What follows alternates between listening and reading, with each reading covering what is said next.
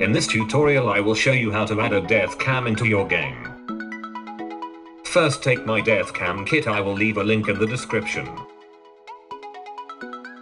Then ungroup everything where it's supposed to go. Now I'm going to put a sword in so I can show you it works. Once you're done publish and test the game out.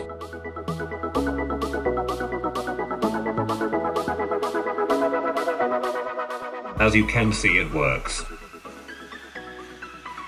If this video helped you out make sure to leave a like and subscribe and I'll see you in the next video, bye.